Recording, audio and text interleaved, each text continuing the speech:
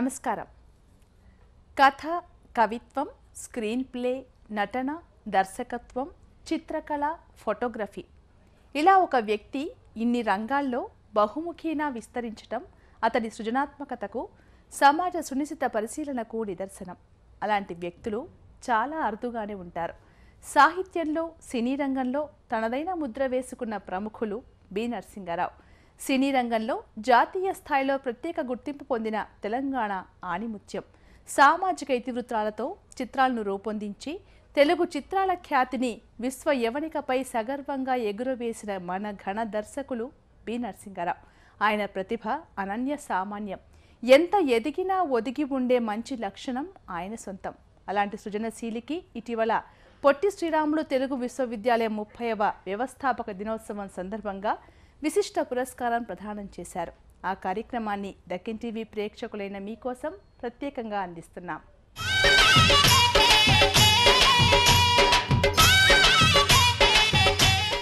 ఈ పురస్కార ప్రధానోత్సవానికి పురస్కార గ్రహీతతో పాటు ముఖ్య అతిథులుగా మన రాష్ట్ర ఆర్థిక శాఖ మంత్రి ఈటల రాజేందర్ విశిష్ట అతిథిగా సాంస్కృతిక శాఖ సారథి రసమయి బాలకిషన్ పొట్టి శ్రీరాములు తెలుగు విశ్వవిద్యాలయం ఆచార్యులు ఎల్లూరి శివారెడ్డి రిజిస్ట్రార్ తోమానయ్య తదితరులు వేదికను అలంకరించారు.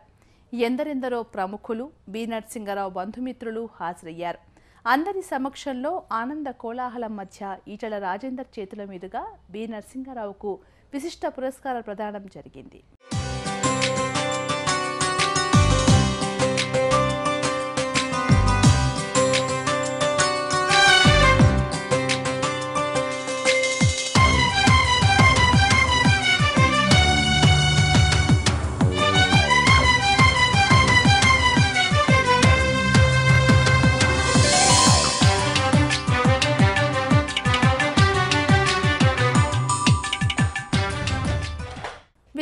పురస్కార గ్రహీత చలనచిత్ర రంగ ప్రముఖులు బి. నరసింహరావు గురించి చెన్నయ్య ఇలా తెలియజేశారు.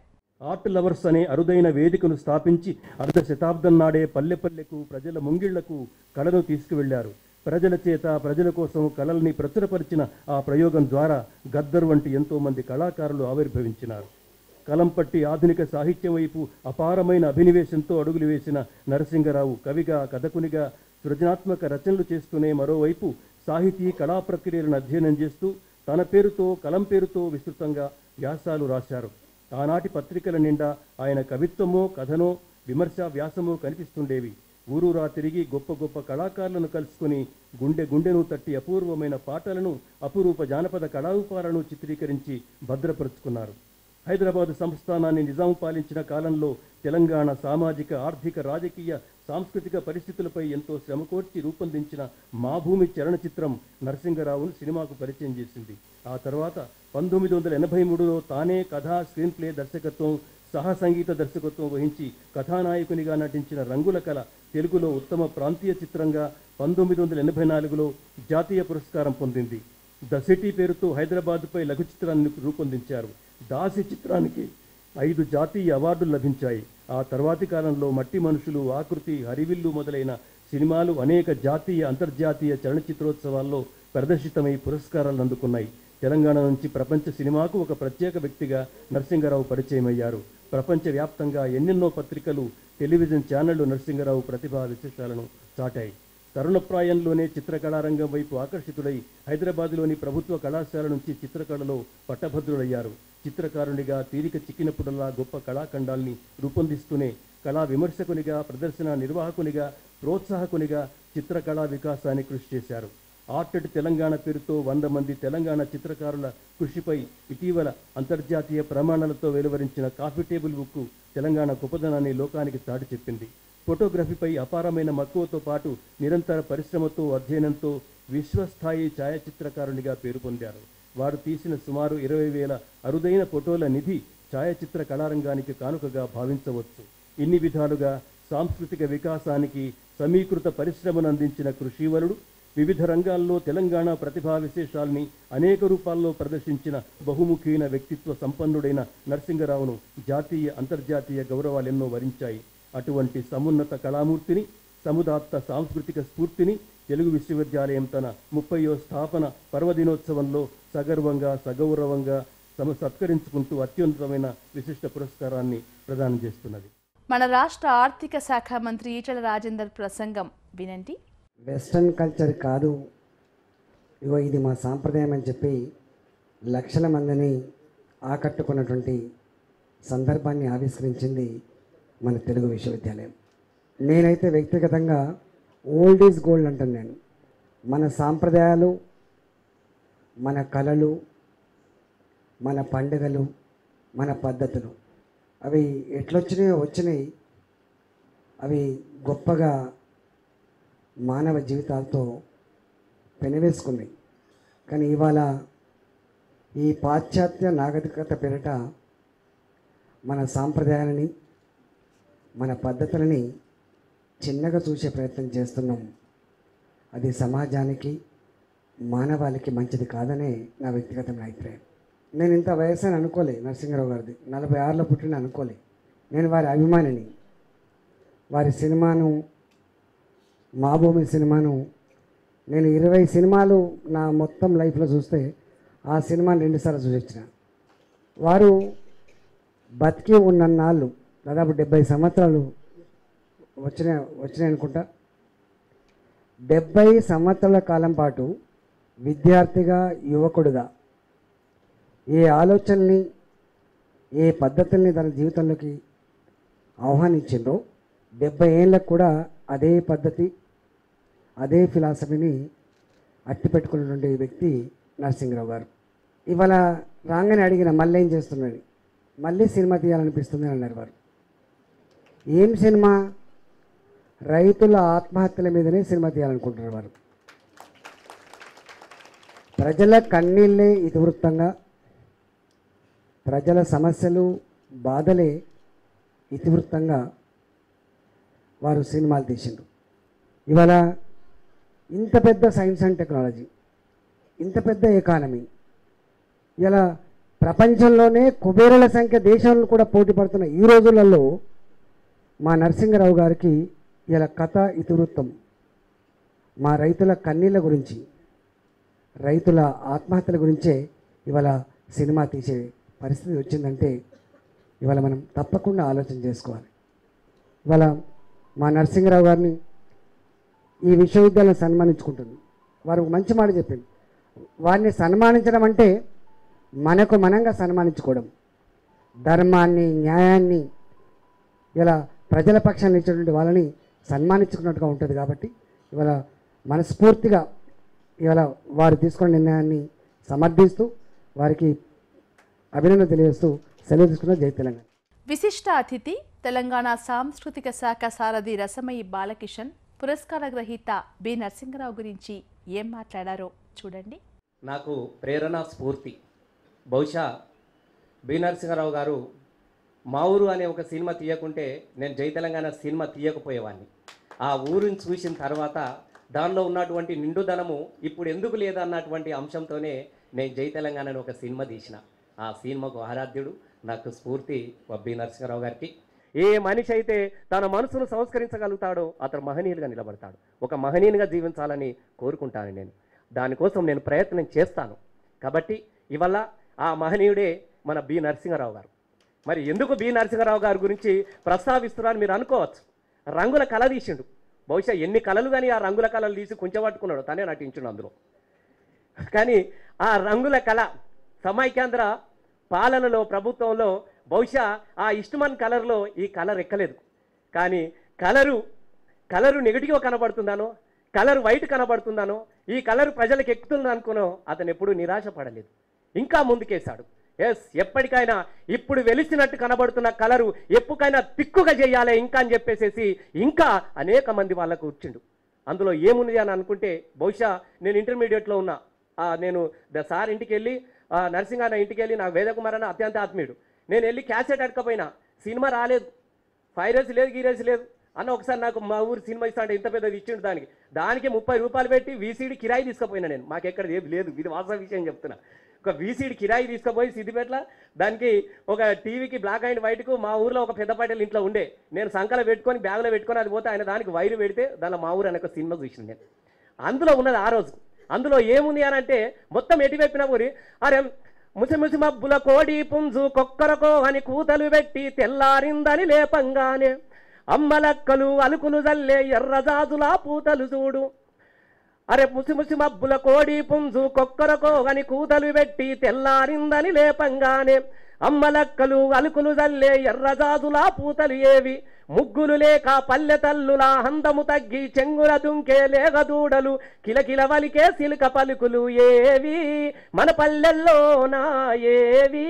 తెలంగాణలోనా నేను ఆ సినిమా చూసినప్పుడు ఇవన్నీ కనబడుతున్నాయి. మొత్తం సినిమా నిండా ఇవే ఉంటది. తెల్లారంగానే తెలంగాణ ఏవి జీవితం ఏ విధంగా తెల్లారుతుందో ప్రతి ప్రేమలో కనిపించినాయి. పొట్టి శ్రీరాములు తెలుగు విశ్వవిద్యాలయ ఆచార్యులు ఎల్లూరి శివారెడ్డి పురస్కారం గురించి పురస్కార గ్రహీత బి నరసింహరావు గురించి ఇలా మాట్లాడారు. బి నరసింహారావు గారిని గురించి మీ అందరికీ తెలుసు. వారికి ఇంతవరకు ఎందుకు అవార్డు రాలేదు అని నేను అనుకున్నాను. ఏ భూమిలో వస్తే ఏముంది? మా తెలంగాణ భూమిలో వస్తే మా భూమిలో వచ్చినట్టుని ఇప్పుడు వస్తుంది ఇక నరసింహారావు గారికి ఇంతకుముందు చెప్పాను నేను వారికి చాలా అసలు ఎన్ని ఎంతమంది నాతో మాట్లాడారు వారికి ఇచ్చినందుకు అవార్డు. పోయిన సంవత్సరం కూడా వారి పేరు రెండో పేరుగా ఉంది. అయితే విశ్వవిద్యాలయం ఉన్న తర్వాత అధికారం అయింది కాబట్టి మేము అన్ని అంశాలు దృష్టిలో ఉంచుకోవాల్సి వస్తుంది. ప్రాంతీయ భావన ఉంటుంది. మనకు మాకు అన్ని ఆ వర్గాలను దృష్టిలో పెట్టుకోవాల్సిన అవసరం ఉంటుంది. అలాగే లాస్ట్ వారికి ఇవ్వలేకపోయాం. ఈసారి ఇచ్చినందుకు మేము గర్విస్తున్నాం. వారు స్వీకరించినందుకు వారిని ప్రత్యేకంగా అభినందిస్తున్నాం. ధన్యవాదాలు. రిజిస్ట్రార్ తోమణయ్య మాటల్ని ఆలకించండి. నరసింహరావు గారి గురించి తెలియని వాళ్ళు లేరని అనుకోవాలి. వారు నిర్మించినటువంటి సినిమాలు ముఖ్యంగా మన భూమి మా భూమి రంగుల కళలు అట్లాగే దాసి వంటి చిత్రాలు ఎన్నో వారికి ప్రపంచ ప్రఖ్యాతిని చేకూర్చాయి. అదేవిధంగా ఎన్నో అవార్డులు అందుకున్నారు. ఈనాడు మనం ఇస్తున్నటువంటి ఈ అవార్డు వారికి చాలా చిన్నదే కావచ్చు. కానీ విశ్వవిద్యాలయం అందిస్తున్నటువంటి అవార్డుని వారు స్వీకరించడానికి ఒప్పుకున్నందుకు విశ్వవిద్యాలయం పక్షాన వారికి కృతజ్ఞతలు తెలియజేస్తున్నాను. వారికి ఈ అవార్డును ప్రకటించడం ద్వారా విశ్వవిద్యాలయం తనకు తాను ఒక గౌరవాన్ని తెచ్చుకున్నది అని నేను గాఢంగా విశ్వసిస్తున్నాను. వేదిక నుంచి పెద్దలు మాట్లాడారు. ఇక్కడ అంటే నేను పుట్టి పెరిగిన స్థలం ప్రాంతం తెలంగాణలో. యాభై ఏళ్ళ తర్వాత ఒక పురస్కారం అంటూ నేను గ్రహిస్తున్నాను ఈరోజు సినిమాకు వచ్చిన అవార్డుల సంగతి వేరు. వ్యక్తిగా కళాకారుడిగా రచయితగా. ఇది సంతోషకరమైన విషయం. సృజనాత్మక కళాకారుడు కేవలం గుర్తింపు కోసం అవార్డుల కోసం మాత్రమే పనిచేయడు ఆలోచించడు. ఇవి దారిలో మనకు తాల్సపడే విషయాలు. సమాజానికి ఏమాత్రం ఉపయోగపడ్డా కళా ప్రపంచానికి సాహితీ రంగానికి ఉపయోగపడ్డా నాకు సంతోషమే. అయితే ఏ ఒక్క వ్యక్తి ఒక స్తూపంలాగా లేకపోతే ఒక ఐరన్ పిల్లర్ లాగా ఒక దృఢమైన శక్తిలాగా ఉండడు. ఒక వ్యక్తిలో ఎన్నో భిన్నమైన రూపాలు ఉంటాయి భిన్నమైన దృక్కోణాలు ఉంటాయి నా సినిమాలు ప్రిడామినెంట్గా ప్రముఖంగా సామాజిక రాజకీయ సాంస్కృతిక ప్రాదేశిక విషయాలని పురిపుచ్చుకొని ఉంటాయి. నా కవిత్వం ఒక తాత్విక ధోరణిలో సాగుతుంది. నా చిత్రకళ నైరూప్య రూపంగా రూపుదిద్దుకుంటుంది. ఫోటోగ్రఫీ నిశ్చల రూపాల్ని ఇష్టపడుతుంది. ఆ రకంగా ఒకే కళాకారుడి నుంచి వచ్చే భిన్నమైన కళారూపాలు భిన్న ధోరణిలో ఉండడం అన్నది నా జీవితంలో నేను గ్రహించిన ముఖ్యమైన పాఠం. కాబట్టి ఈ అన్ని విషయాలు కలిపితే నేనుగా ఒక కళాకారుడిగా మీ ముందున్నాను. వీటన్నిటినీ ఆచరించడానికి ప్రాక్టీస్ చేయడానికి ఒక జీవితకాలం సరిపోదు. ప్రతి రంగంలో ఏదో చేయాలని సృజనాత్మక కళాకారుడికి అభినివేశం ఆసక్తి ఆశయం ఉంటుంది. ఆ ప్రయాణంలో నేను ఒక మెట్టు నుంచి ఇంకో మెట్టుకి ఆ మెట్టు నుంచి ఈ మెట్టుకి ఆ పోల్ నుంచి ఈ పోలికి ఈ రకంగా జరుగుతూ తిరుగుతూ మారుతూ భిన్న కళల్లో సంగీతము సాహిత్యము నృత్యకళ సంగీత కళ చలనచిత్రాలు అన్నింటిలోనూ నేను ప్రవేశం సాధించడానికి పర్ఫెక్ట్గా వాటిని తీర్చిదిద్దడానికి నేను ప్రయత్నం చేశాను. అయితే అన్నింట్లో అభినవేశం అయితే అబ్బింది కానీ నేను చేసినవన్నీ పర్ఫెక్ట్గా ఉన్నాయని నేను అనుకోను. ద థీఫ్ అనే మైమ్ షోను చూడండి.